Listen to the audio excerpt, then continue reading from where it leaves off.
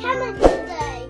Before you start, subscribe, click the bell button, and give us big thumbs up. Also, kids, don't forget, make sure you have an adult with you. To make your cannon, what do you need? Uh, hot glue gun Yeah? and What's that? That's a blade.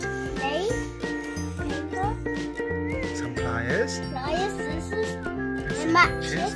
And what's that? Duct tape. But duct tape is optional. You don't have to have it if you don't want to. But because we want our cannon to look like a proper cannon, and no, normally most cannons are black, we're using duct tape, right? All right. Should we get straight into the video, Ria? Yes. The, the paper's one side different. Oh, that's all right, mate. Should we start? Yeah. Let's crack on with it. Yeah. So we're going to start off with cardboard first, Yeah. right? Yeah. So we've got A4 paper that we've cut in half, Yeah. portrait way, yeah? Okay, so now we're going to roll it up. Yeah? You want to hold it for me? Just to keep rolling and rolling and rolling.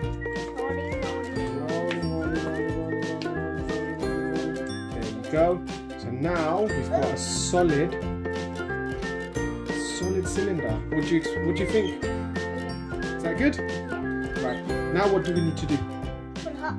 We're going to put hot glue to stick the edge edge. onto. Oh, is that yes, spit. Yep. Sticks perfectly, doesn't it? Yeah. Yeah. Right.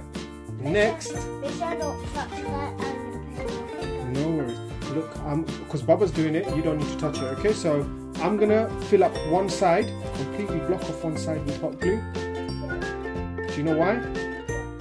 Because when we put the matches inside, it's only shooting out one way, it doesn't shoot out the other way. Yeah? Does that make sense?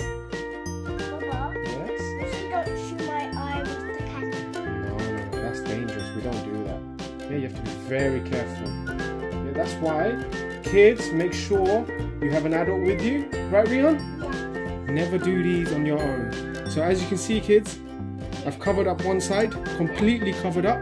Yep. Yeah. So one side is free for the match to go inside, and one side is fully covered up with the glue gun. Yeah. That is turning into a bubble. Is it turned into a bubble? Yep. All right. Now, do you want to hold it for me, Rion? Yep. Now we're gonna cover it with duct tape. Yep. Take. duct tape to make it look more like a cannon. Right? I think it was one. Right. Do you want to hold that for me, mate? Yeah. Hold it for me. There you go.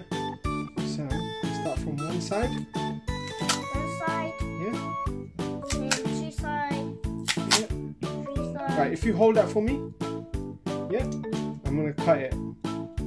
Again, kids, make sure you have an adult when using scissors, when using any of these things that we're using right now. Yeah? If you don't use your scissors, cut your finger. Yeah, definitely. Oh, That's dangerous. Right. You gonna hold it for me again? Yeah. Cut the scissors. That's cool, isn't it? Yeah. A tiny bit more. Get it? Where did you get the big one? Yeah, it's alright. Right. Just cut with the. Yeah, that's it. Thank you, Baba. Brilliant. So that's your cannon. Yeah. How does that look? Right, we're not done yet. We now need to make a hole. Again, make sure, kids, you have an adult with you when cutting this. Baba? Yes, Baba?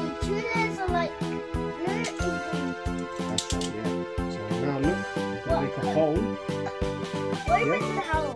Shall I tell you why we're making a hole? Yeah. Because we're gonna put a piece of string in there. Yes. Uh, so that we can light it on fire, and that is what is gonna ignite inside and shoot out the matches. Papa, Yes. maybe I just put a ball in there. Yeah, you can even do that. You can even do that. Yeah. So what we'll do, we'll get some metal foil turn it into mini balls and we can put it inside and what do you think? Is that cool? Right, should we get the next part? Let's do this. Rehan.